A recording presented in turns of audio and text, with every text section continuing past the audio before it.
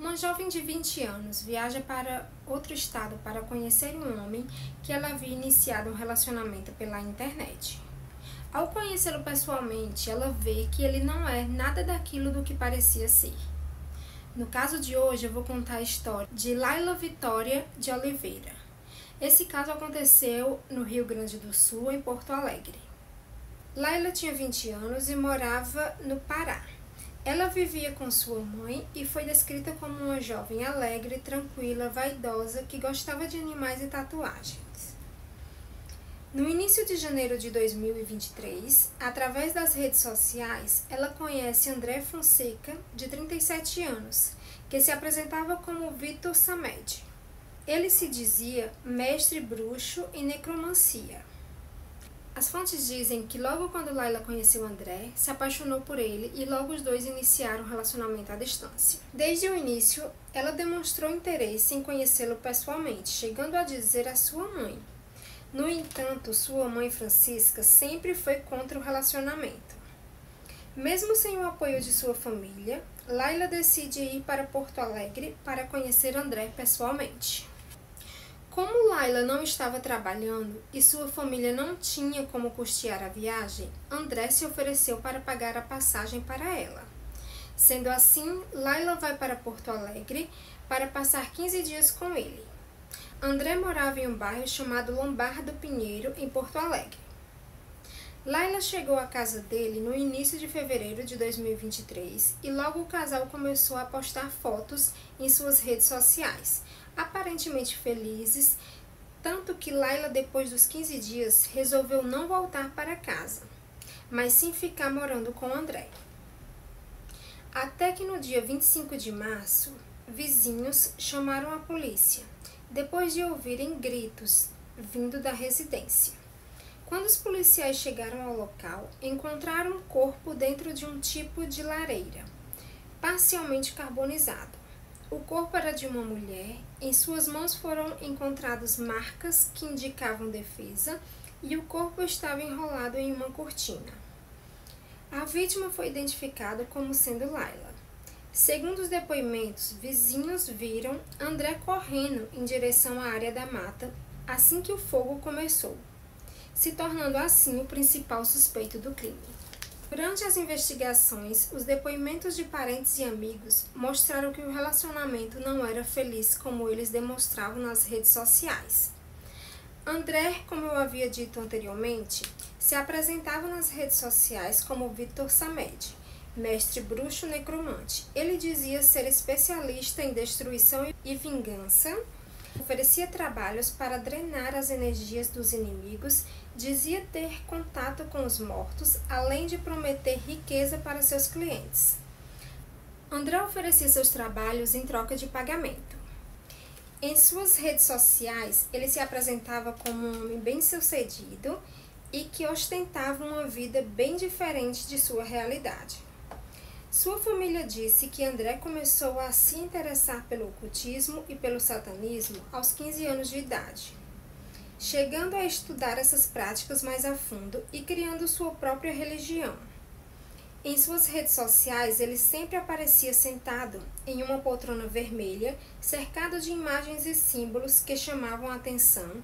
Em sua casa foram encontradas facas, espadas, alguns tipos de machado, além de catsais, caveiras e máscaras.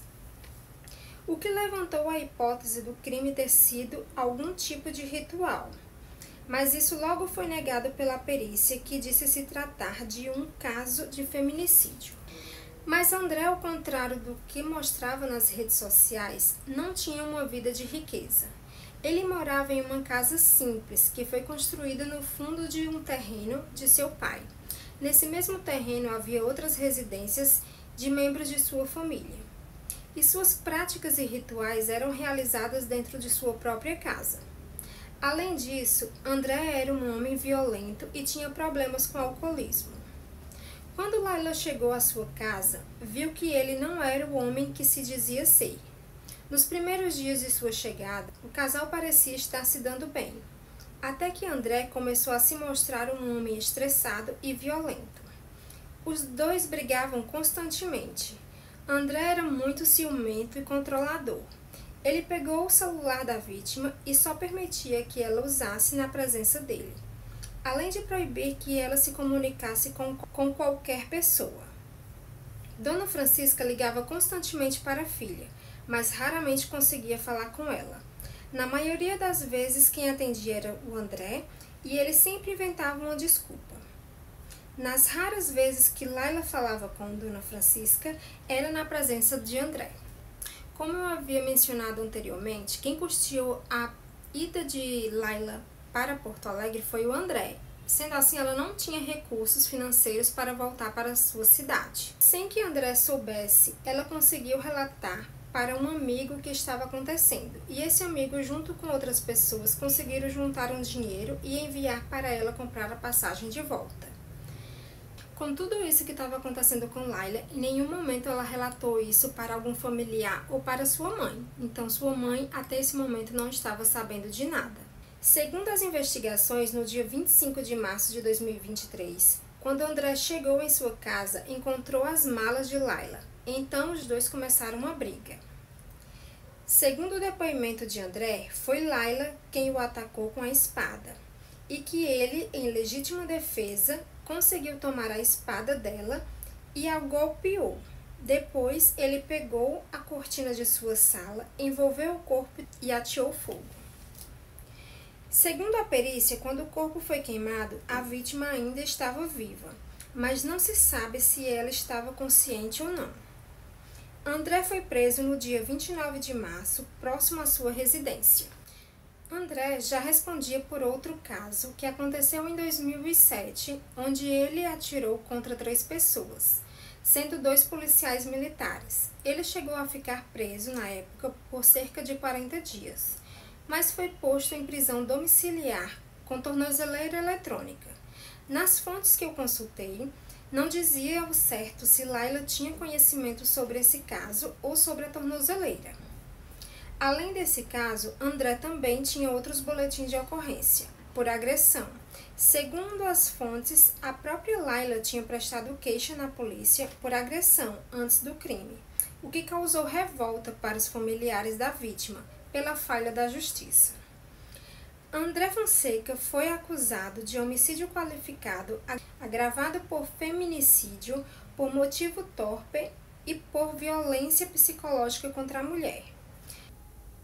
Foi descartado qualquer tipo de vínculo com rituais ou com religiões nesse caso.